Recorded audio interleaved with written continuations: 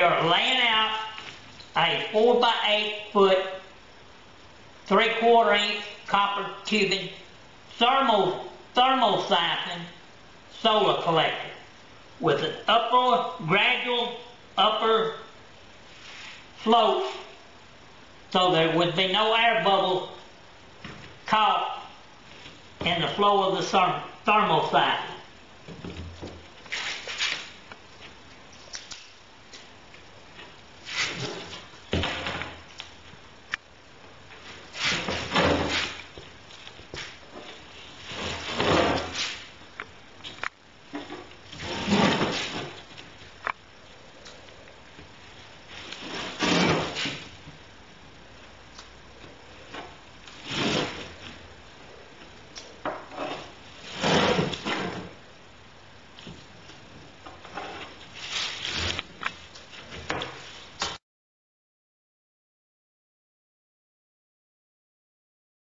Laying out the copper tubing, cutting it and laying it out on a four by sheet metal, I mean four by eight uh, plywood.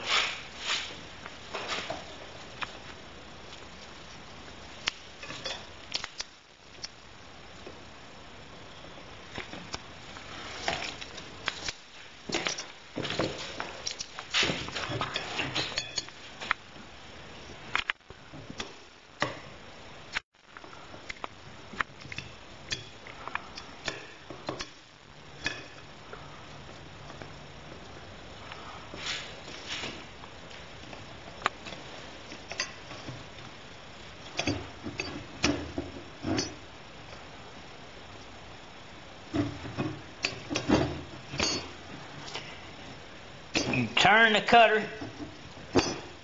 a time or two. You tighten it up each time you go around. And it will cut the copper tubing for you.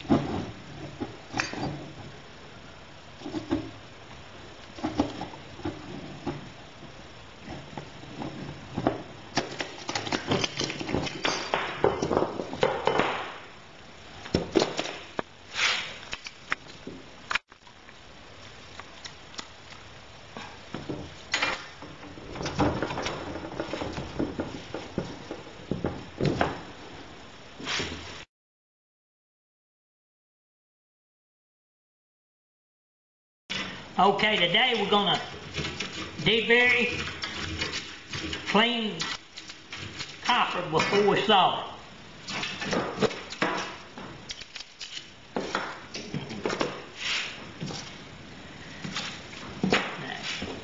it. You can take it and sand it. Like that. Get that copper real clean. Cause that matters quite a bit. Or you can even use this to get the inside the copper elbow clean. Same thing on the outside, you can use this. Get the copper real nice and clean. Cut. Next thing we do is we start putting soldering flux on the on the inside.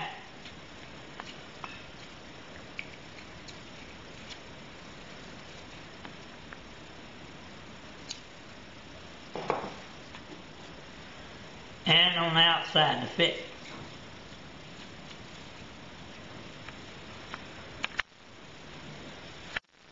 That lets the solder flow real good. You got it cut. What you want to do is you want to kind of get the uh, joint right here nice and hot before you even apply any solder at all. You want that whole joint to be nice and hot.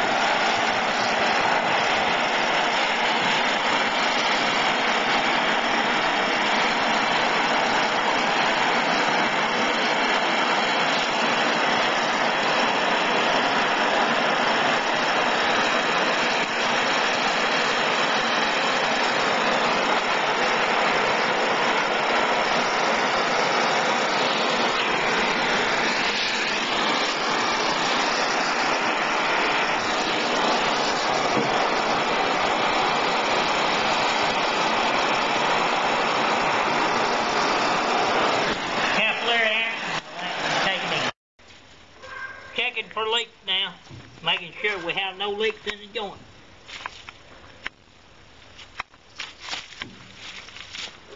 Okay, cut for the, uh, for the thing.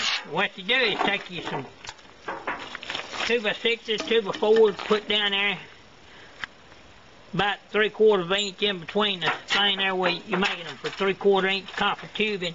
That's that size you need to make it. Lay your fin down in the center of it.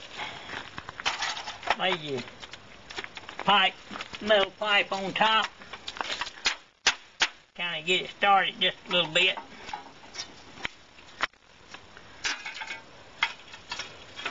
Well, a piece of angle iron or something across.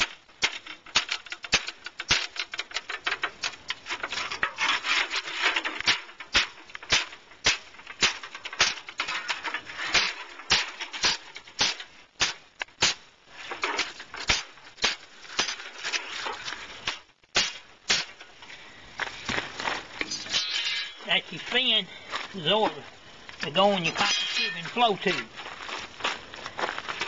Alright, go. Alright, first we got our treat plywood four by eight sheet down. Then we lay our R-Max insulation on top of it. And make sure you got your marks down here where you make sure the copper tubing is in the proper place. You know, the flow tubes has got to have an upward slope to the to the tubing. You've got to make sure that that's done properly. First, you take, line up your insulation.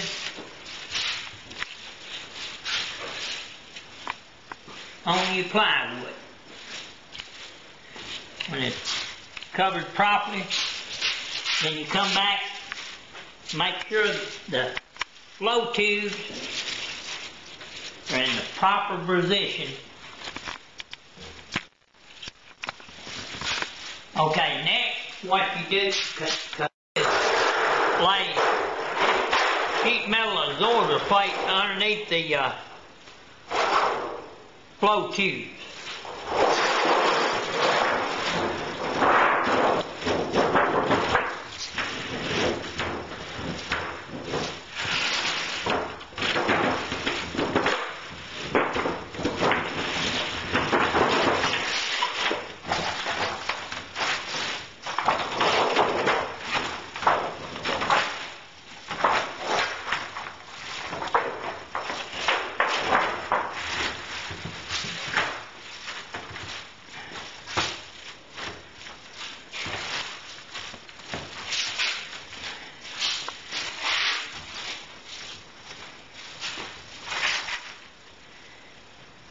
Make sure your flow tube is lined up with your mark. Where the flow tubes have upward flow to your tank. Okay. Now what we want to do is we want to make sure that the uh, copper flow tube is in proper position on top of the sheet metal that's laying on top of the plywood and insulation. We've got to make sure that this uh, flow tube are marked and properly placed where we have an upward flow. Okay. After you get the sheet metal underneath it, get it all lined up, get all your copper flow tubes lined up on their mark where you have an upper flow in them. Take your absorber fins, take run a fine thin line of uh, heat resistant caulking. Put it on your flow tube. Press it down. Drill your hole. About six of them. Begin with, probably about two, probably six is what you need to do. Go ahead and run your seven eighths inch sheet metal screw down in there and pull it up on your four by eight treated plywood. And you do that on the whole a flow tube where your flow tubes are covered with absorber fin. And then you take